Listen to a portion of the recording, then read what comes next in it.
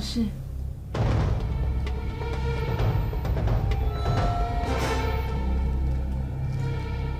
郑凯儿，你告诉我你的家人都在加拿大，那请你解释一下，床上躺的那个人是谁？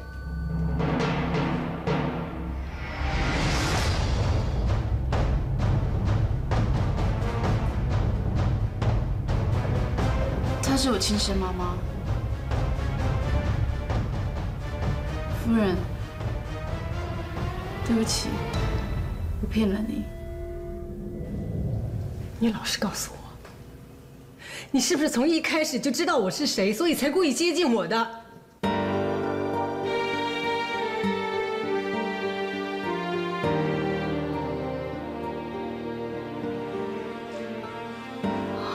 你这个女人真是太可怕了！你给我说清楚，你到底还有什么事情在瞒着我？该不会你跟我说你跟子琪交往过也是骗我的？夫人，对不起，请你原谅我，我不是故意要骗你的，我是真的很喜欢子琪。你给我闭嘴！你没有资格要我原谅你。你先是处心积虑的接近我，然后又践踏我对你的信任，你把我当白痴耍！为了你，我差点跟子琪翻脸呢。结果你是这样子回报我的，你要我原谅你，你自己能原谅你自己吗？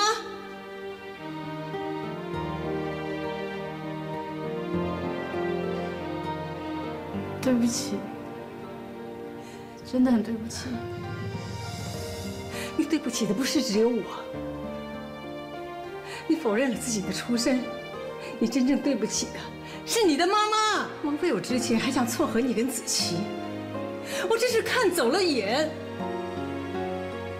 你这个虚荣的、不孝的拜金女！沈杏仁虽然出身不怎么样，但至少她诚实。你呢？没有钱就算了，你连尊严都没有。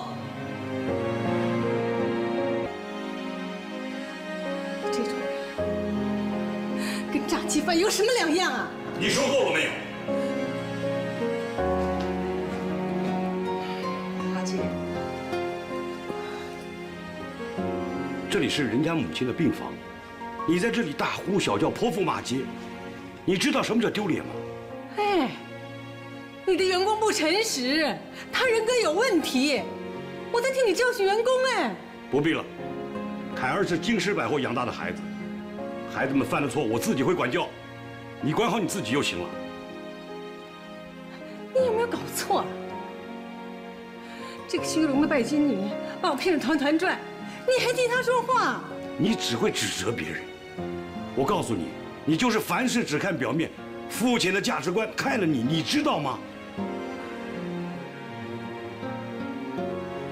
夜华，你要指责别人之前，你能不能反省反省自己呢？你还要伤害多少人你才满意呢？我求求你成熟点。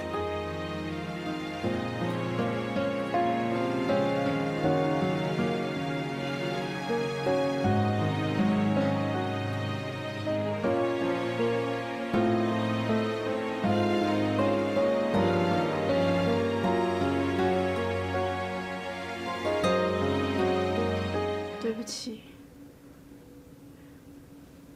因为我很嫉妒杏仁，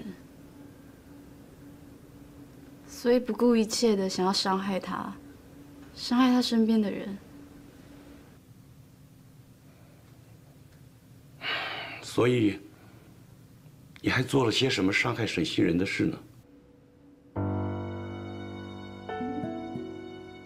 杏仁的驰骋是我篡改的，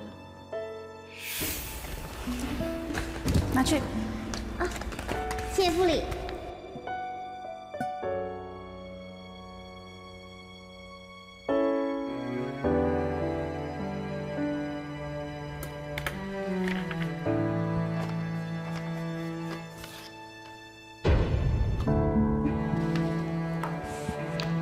这么好的一个员工。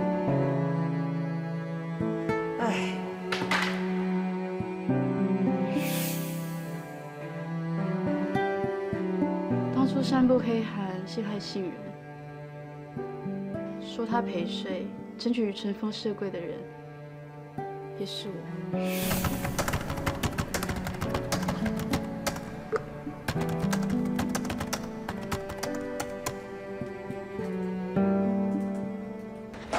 谢谢，你有没有看过这封信？到底是谁写的啦？超过分的！我一定会写请营业部负起所有相关赔偿责任。你们千万不要把事情闹大，闹越大，你们只会得不到你应得的赔偿。K 的家属来公司把事情闹大，也是我做的。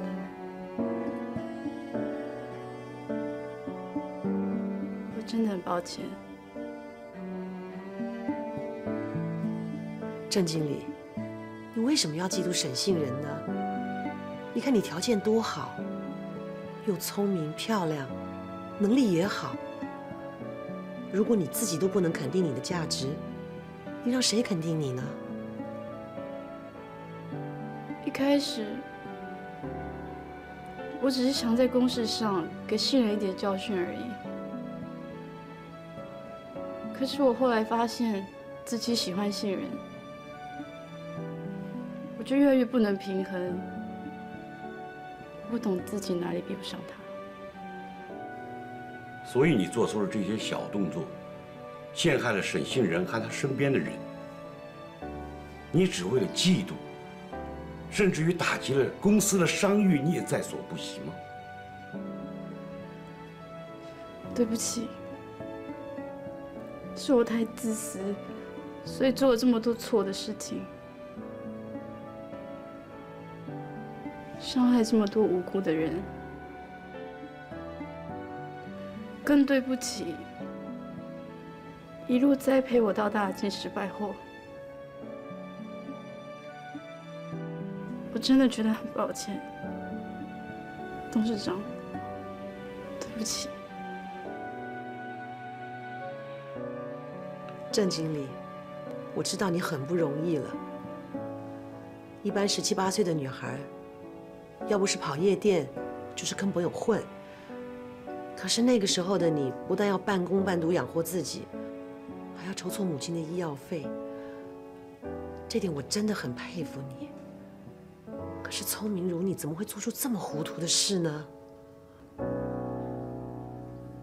可能我不甘心吧。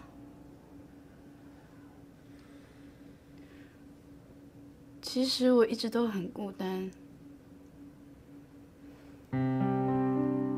别人都有爸爸妈妈陪，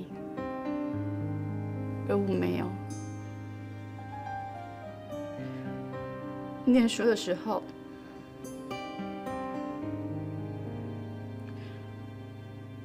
最讨厌参加家长会，因为我知道不会有人来。但这不能合理化你所犯的错，你知道吗？我知道我错了。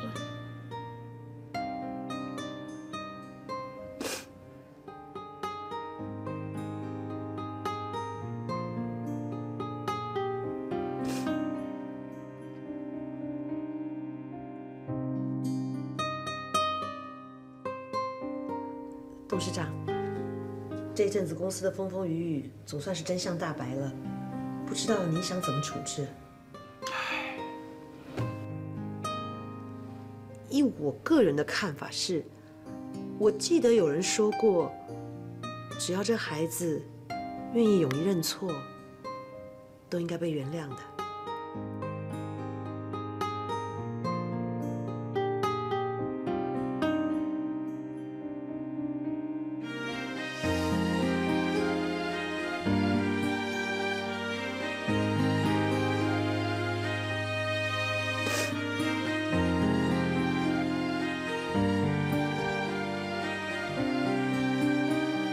我相信你是真心的悔改，否则也用不着拿出这两张礼卷来证明你的错误。既然你有勇气承认错误，我也要冒险，再给你一次机会。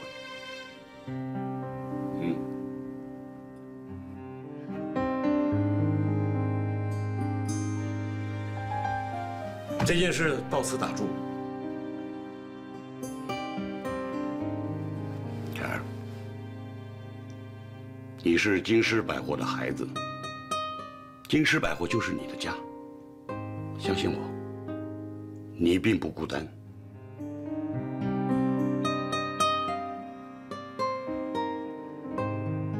郑经理，不要看你失去了什么，看看你所拥有的。